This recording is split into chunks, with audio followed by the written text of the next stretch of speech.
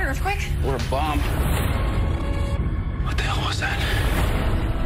I'm trying to call Ben, but he's not picking up. We're gonna be flooded with massive trauma. Move! Move! Move!